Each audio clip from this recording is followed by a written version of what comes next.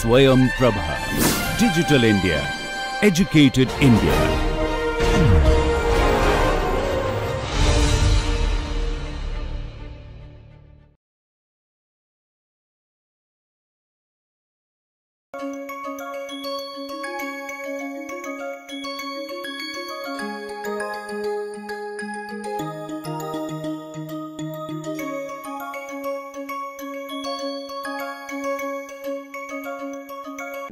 Just go and look at little bit on historical development. So, how did we get aerofoils and were they there right from the beginning? Okay. So, there is a very short video uh, which tries to capture approximately 100 years of historical developments in aviation. So, I think it is a very interesting video. So, maybe we should just watch it. So, brief history of aviation.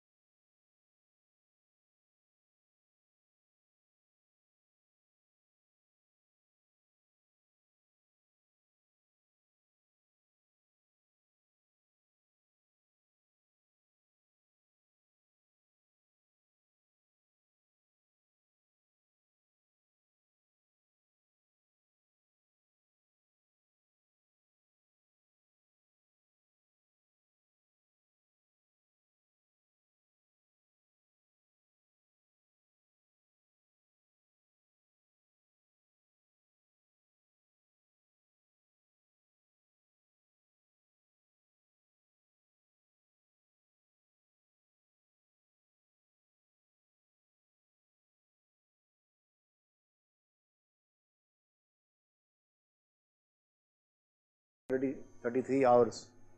Okay? And then of course after this there have been many many many many many new other new developments.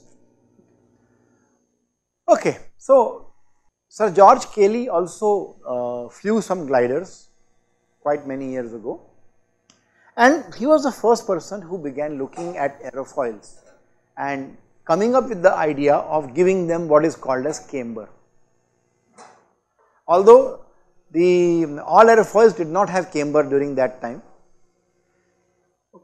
So, Phillips was the first person to talk about optimizing the shape of the aerofoils to achieve a particular mission. And later on we had so many other people who studied various types of aerofoils. Uh, two names stand out here the one of Otto Lilienthal and Octave Chanute. Uh, they have contributed immensely to aviation. So, this is the first glider which was flown by Sir George Cayley, designed by Sir George Cayley. Okay. You can see it is being towed by a cable. So, it is being launched by a cable. Where are the aerofoils? There are no aerofoils here. What you see is just flat cloth placed over a structure but given some kind of a shape. And actually it occupies a particular shape based on the winds. Okay. So then we had uh, Lilienthal as I said a very famous uh, aerodynamicist I would call him or glider designer who tried out various things including uh, ornithopters which tried to mimic the flight of the birds. Once again no aerofoils, only flat plates but curved and twisted at various places. So then even Wright brothers also developed some gliders, okay. So this is the one of the gliders that they developed. Again if you see the aerofoils are not there, these are again flat parchment sheets with little bit of rounding in the front. Uh, the focus most, mostly is on making a structure which can withhold a person and the control system. Okay. And uh, which side does the aircraft fly? Does it fly from your right to left or from left to right what do you think?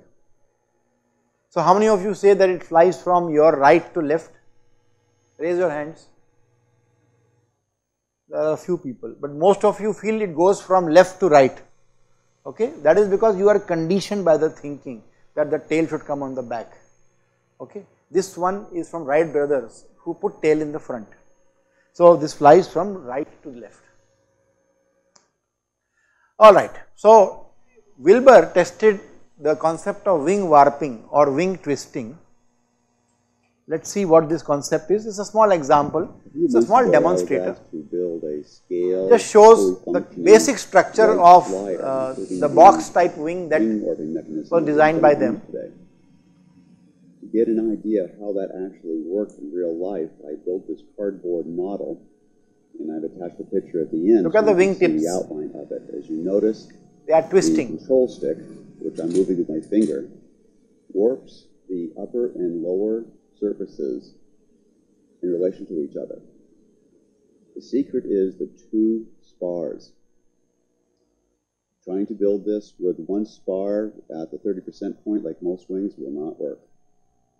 So it will be nice if somebody can build a model of this one, this wing warping mechanism and instead of using a hand, you can use a small remotely controlled servo to twist it and to show uh, the working of the wing. So in 1901 we had a glider and these gliders basically because they fly slowly and not as efficient as today's gliders they tended to have a very large wing area so they became very difficult to handle and because of that there were many deaths and many accidents because people were not able to um, manage or control these gliders. One more reason is the forward elevator which becomes very sensitive to the control. So, uh, according to the designers of these uh, gliders the Wright brothers they were interested in controlling it proactively. They were very good in flying but they were not interested in stability, they were more interested in control. Okay. So, the last capsule of this course is going to be on stability and control. So, there I will elaborate this point little bit further. So, because they were using forward elevator, there were many last minute escapes. Several times they came close to crashing or came, came close to getting majorly injured because it is very difficult to control. Okay, alright. So, the aerofoils used by Wright brothers were essentially thin aerofoils or just flat sheets with some curvature in the front. Okay. And they did a lot of wind tunnel testing at low. One of the special uh, contributions of Wright brothers is the use of a crude wind tunnel to test the working of their own designs. Okay. So, they, they, they did low speed wind tunnel testing in their own workshop and the results that they got in the beginning were very misleading. And there is a very interesting story in which uh, the Wright brothers did some internal testing and they found that the data that they are getting is totally different from what is published by other people. Okay, so uh, and then how they how they actually figured out. In fact, they wrote a letter saying that our results do not match with your results. We see that the flow remains attached at low speeds in the wind tunnel, but in reality, when we fly, we do not find the flow to be completely attached. So, the wind tunnel testing was misleading. One reason for this was the transition strips were absent. So, therefore, they were not able to replicate the same conditions. These are pictures of some World War I aircraft and interestingly these are in the side view. So, you can look at each aircraft and you will find that the aerofoil is basically a flat plate which is some curvature. So, all World War I aircraft they had an aerofoil which was of this particular type. So, the ideas like providing camber, rounding, thickness they came they were known, but they were not implemented at that time. Okay. So, you can see for example, this Air World War One plane, if you look at the tip, you can see uh, get a rough idea about the aerofoil cross section. So, notice it is essentially a flat thing. So, then we look at types of aerofoils, we look at what kind of aerofoils are there so, flat plate is also an aerofoil and flat plate can also generate lift. It is not necessary for you to have curvature or rounding. In the next class I am going to talk about the dynamics of creating lift and there I will explain to you how a flat plate can also create lift. And here is proof, here is a CFD picture of a flat plate and you can see there is a difference in the pressure okay. The blue zone is very visible on the top of the aerofoil. So, you can make out that there is a pressure difference, the pressure at the top is lower, so there is going to be upward force. Then the question is why not use flat plates? Flat plates can make you fly, okay. I have built uh, some small chuck gliders and I fly them using flat plates. I do a demo in many places and before me so many people have flown aircraft. So then the question is why not use flat plates? Why go for curvature, aerofoil, shaping? What do you think? What is the need? When you can manage with a flat plate, then why should you go for such complicated things like providing a profile or a shape? So let us see who can answer this question. Why not use flat plates? I think it reduces flow separation provide space for storage, like landing, landing gear storage problems. Okay. Ha, so the ha, so yeah, so the problem is not to generate the lift, but the problem is to sustain lift at angles. Okay. So this is a question which many people ask. Flat plates cannot produce lift. The answer is no, they can produce lift, but there is a problem. So as you can see, here is an example of how uh, flat plate can produce lift, okay, they can produce lift. But why do not we use them? So, the answer will be available through a small video. The first test I did was with the unprofiled wing. You can see that the wing experiences airflow separation at a fairly low angle of attack. Airflow separation is the generic term given to the occurrence where the boundary layer or the layer of air closest to the surface of the wing has a velocity of close to zero. This is visible in the form of turbulence and eddies as you can see here. This represents the wing at stall. You can also see the oscillating trailing vortices characteristic of a wing at stall here and here. When we look closely, we can see a small trailing vortex present even when the wing is at a low angle of attack. I'm going to play it again. The first test I did was with the unprofiled wing. You can see that the wing experiences airflow separation at a fairly low angle of attack. Airflow separation is the generic term given to the occurrence where the boundary layer or the layer of air closest to the surface of the wing has a velocity of close to zero. This is visible in the form of turbulence and eddies as you can see here.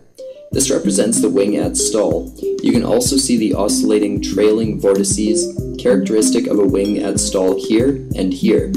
When we look closely, we can see a small trailing vortex present even when the wing is at a low angle of attack. Okay, so the main problem as Ritu rightly mentioned is that at a particular angle a flat plate is sufficiently good you may just have to round the leading edge to avoid immediate stagnation pressure creation of the air because a flat plate will have some finite thickness. So, for that thickness and that thickness portion in the front the flow will come to a rest. So, if you just round it slightly uh, or give it some kind of a shape in the front and in the back, it becomes very easy. So, if you are always aware that the flow will be coming to you only at say 3 degree angle, you can make a very optimally shaped flat plate for that angle and it will give you very good lift. This is what you see in the ceiling fan. What do you see in the ceiling fan? Do you see aerofoils in the ceiling fan? Okay. We see a flat plate with some bend. Okay. That bend is basically to ensure that the air is consistently and strongly pushed down because you do not want the fan to lift up, but you want the air to come down on you, right. So, you give, you take a flat plate, give it a, give it some shape uh, towards the back, that is all. So, if I, if I want to operate a fan at a particular angle continuously, I can manage with a flat plate. But in an aircraft, as your speed changes, you have to align your aircraft with the wind at different angles and that is where a flat plate will, will be immediately a problem. So, the initial aerofoils that people used were flat plates with a small curvature in the front. So, that at a range of angles you still do not have a flow separation and that is how we got the wings of the aircraft during the first world war and other low speed applications. But soon people realize that it not be enough, we have to do something more to get a better information. Okay. So, the answer is this, if the, if the leading edge is sharp, okay, there will be easy flow separation. Uh, as we saw in the video also, quickly a vortex will be formed and that is going to consume energy from the free stream. So, you will have more drag and the angle at which you lose lift or the stalling angle become very small. Therefore, if you want to stay up in the air, you need to have more powerful engine because drag is going to be larger. So then people said, okay, let us go for rounding and let us go for cambering or shaping the aerofoil. So there is a hypothesis here that the cambered aerofoil will perform better. Now let us just investigate, let us see what are the conditions under which this hypothesis can be true. So first we should define what is a cambered aerofoil an aerofoil in which the camber line and the thickness line are not identical because there is a presence of a camber, right. So, these are the terminology which we have already seen. So, airflow speed and static pressure both of these are going to generate the lifting force as we will see in the next one. Now, if you provide camber or curvature you change the velocity acceleration, you change the increase in the, you, you result or cause increase in the velocity and hence more changes in the pressure. But this is true only if the flow is laminar. To some extent it is true even in turbulent flow, but mainly it is true when you have undisturbed flow. And most of the wings are designed with this concept that you provide a curvature so that the ambient air comes in and because of curvature it accelerates. As it accelerates you can um, expect a lower pressure and therefore you can get lift. So, the efficiency of the aerofoil increases if you provide camber, but in certain circumstances this may not work as we will see sometime in the future. So, here is a discussion about the effect of camber on the lift. Okay. So, there is a curve called as a lift uh, lift curve which is shown there. Uh, on the x axis you have the angle at which the airfoil faces the free stream or the angle of attack. On the y axis we have the uh, lift coefficient or a measure of the lift generated. So, if you have a medium speed aerofoil okay, then it is good to have a minor camber or a mild camber because you will produce more lift due to more acceleration, but also you will have a smooth stalling characteristics shown by the gradual reduction in the lift beyond the angle. Okay. Now, if you have a high speed, uh, if you design something for high speed, then if you provide too much of camber, you can have a problem. Okay. So, in this case, you will start getting a sharp because if you provide too much camber and too much rounding for a high speed aerofoil, very soon the flow will accelerate to numbers that you do not want it to exceed. Okay. Then if you have a low speed aerofoil or if you have a low speed requirement, okay. So this is an example of the aerofoils which are seen in the engine components, in the uh, compressor and the turbines and the rotors. There you go for thin cambered aerofoils. Okay. So if you are going for a paraglider, something that glides for a very long distance. So in a paraglider, you have a very thick aerofoil with less curvature, uh, with, with a reasonable curvature. Okay. So depending on the application that you have in mind, the shape of the aerofoil that is suitable for that application keeps changing. So one has to have an information about, now how do you determine which shape is better for which application? It is determined either by experience or by wind tunnel testing for a particular application. So in the tutorial session that we conduct, we will do some experiments and try out and see how these uh, parameters change.